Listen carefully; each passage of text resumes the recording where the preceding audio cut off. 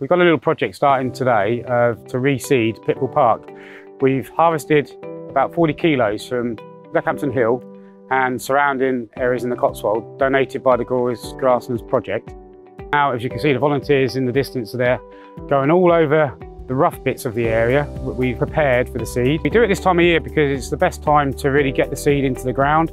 Over the winter, it'll harden, freeze, and eventually, sort of around about spring, it should start showing its head. We'd see some scabious coming up, we should see some yellow rattle. If this works, we're going to transfer it to the next side next year. We're going to harvest this seed in the coming years and eventually transfer it throughout the whole town. We create a little bit of the countryside in, in, in the town.